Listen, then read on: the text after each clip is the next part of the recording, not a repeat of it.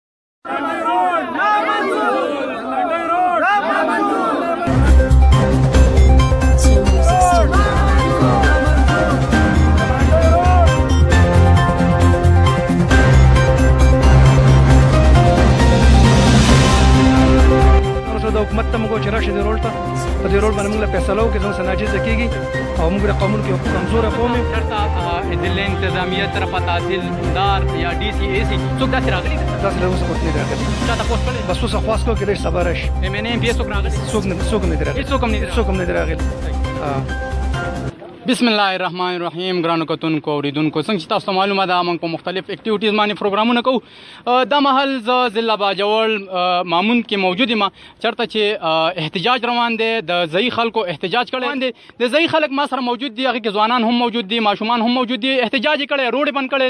د دې نه پوښتنه کو چې دیو دا روډ د څه وجنه بند کړي السلام علیکم جی وعلیکم السلام نوم د څه د مشره ما سیدالی ها دا راته وای دا احتجاج د څه وجه تاسو کړي دا احتجاج موږ د روډ د وجه کړي دا څه وجه روډ څنګه مثلا دا وجه دا چې زمونږ واسنه کیږي او موږ سره زور شوی او موږ سره زیاتې شو دا خپل روړ سره په خپل کور باندې په خپل ځمکه باندې دا زمنګ نه دا زمنګ سره زیاتې کوي دا ځمکه راز نه په قص دغه کوي دا خرابې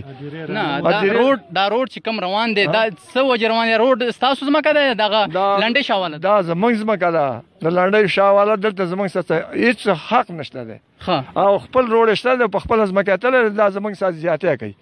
او بس دا خبر نو څو څو وینا کې حکومت څه وینا کې مې نه پیاته حکومت او مې نه ته دا سوال کو چې زموږ سره د زیاتې او د ظلم نه کیږي او د زموږ د کاته دي ختم شي څه ختم شي دا کوم روډ چې دا روډ ختم شي دا روډ ختم شي او چې دا روډ ختم شي او زموږ سره د زیاتې نه کیږي موږ دا احتجاج د دې د وجه کله چې وای زموږ د غوند خلکو نه دا خواست دی چې دا روډ بند کړي ځکه چې دا غیر قانوني غیر عیني دی ځکه د دریو میاشتو لپاره نه ایمرجنسي غوښتلې و کولانډي والا وي په لار لاندې کې دن رول تللی دی په بر لاندې کې دن رول تللی په داسې په مامون کې یو کلم نه پاتې شو قوم ته روډ الی دي شته خدا بل کول ته شته مین روډ ته شته داسې کله به یو ثابت نه کې په مامون کې په ټول باجاول کې چې د ته روډ نه دی تللی دا خو زمونږ هڅه یو خصوصي زیاتېږي ظلم کېږي ناجیزه کیږي څه وینا کوي حکومت څه حکومت نه زمونږ دا خواست دی چې باید زمونږ مهرباني وکړه زمونږ لس پنځل لس کړي لکه اوس دي دوره د تلو والا دي زمونږ خبرونه پکې ادیرې پکې والي شوي دي کویان هم بې ستره شوي دي ټول کله زمونږ بې ستره شوی ځمکې هم خراب شوي دي دا ځمکې ته په خپل باندې نه دلته ولاړې چې دا قیمتي ځمکې زمونږ نور نشته د چا د کال ځای شته او چا نشته حالان کې چا لا چې والي دغه کور ځای نشته په کړه باندې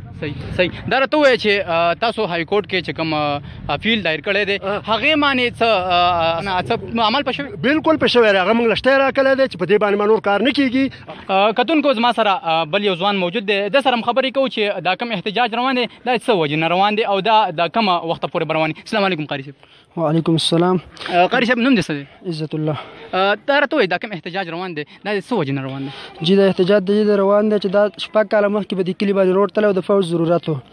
هغه یو سنګامي حالاتو په حالات کې درې میاشتو پر هغه روډ وغوښتو خلکو له ورکو بیا درې میاشتو نه بعد بیا هم خلکو انتظار کاوه چې شاید حکومت حکومت به دا به په خپله باندې بند کړي لیکن بیا به دې کې وخت تور شپږ کاله وشو بیا دا موږ دا خلک لاړ په های کورټ کې اپیل وکړو چې هغه اپیل وکړو دغه په نتیجه کې د تسټه ملاو شو بده باندې نور بقایا کار بني اوس د انباد د لنډې چې کم کس د چې په پلیودوت بنوم سره یادېږي هر کوم دارو بوله هغه اوس دلته هلته د امکان عمر کوي زما والد صاحب ته د ټلیفون کله چې زما پیسې نشته ته زما لپاره کرایي کې هغه نو مې ورکړل دا خبرې مسکې زیاته او دا روډ او بل دویمه خبره دا چې دومره اړ ظلم چې عام د میکم مین روډ دی هغه اته فوټه دی او دا چې کوم یو د یو سیټ لپاره تللی دی د څلېرویش فوټه دی بل د هغو د کور په مخه باندې خپل روډ تللی دی لکه څنګه چې په دې زموږ په دې علاقه باندې کوم روډ تللی هغو ته هم دا شان روډ تللی دی هغوی اوس دا غواړي یعنې یو قصدن آمدن دا کار کوي چې د کلي نقصان وشي په دې کې د ټول کلي بې انتها ډېر زیات نقصان شوی دې کې به د کلي علاقې ځمکې هم جی بالذات زمونږ په کې 120 مرلې ځمکه تللې ده او د یوې مرلې تقریبا 4 5 لک روپۍ قیمت ده د زمونږ بالذات په کې دا نقصان شوی دی الټه خبرې هم کوي صحیح دا تاسو نه علاوه هم د خلکو نور مې جی د زمونږ نه علاوه زمونږ نه علاوه تقریبا د 25 30 ګرانی خاندان دغه په دغه شان نقصانونه شوي دي دا خلک په کې امشته چې دغه یو یو پټیر دغه مکمل بالکل اوس د کور ځای نشته دی دغه په دې تمنا کې چې موږ په دې باندې آبادی کې کور به جوړو حالانکه اوس دغه ځای نشته هغه اوس د دې نه کو دا چرته نه کې ګورنمنت څه وینا ګورنمنټ مې زمونږ دا اپیل دی چې کوم دا سټه مونږ ته راکړل شوی دی چې په دې باندې نور کار بند شي سبا چې زمونږ کوم تاریخ دی په دې کې زمونږ دا داغونه دا اپیل دی چې زمونږ ته د عدل او د انصاف فیصله وشي دا روډ بند شي السلام علیکم وعلیکم السلام نوم د څه سلطان زیب سلطان زیب دا راته وایي چې دا احتجاج به کومه پر روان دا چې څو پر دا روډ نه بند شوی نه دا روډ چې کوم کار پر روان نه دا بند شي دا کار بند شي دا روډ بند شي په دو قوم کوم روشته په دو قوم کوم روشته زموږ د قوم غریب دی د چا د شرم نه کیږي په زور پیرور نه دی موږ حکومت ته دا خواست کوو چې دینه بغټه لانجه جوړ شي او هغه درې شمول له فیصله وکړي د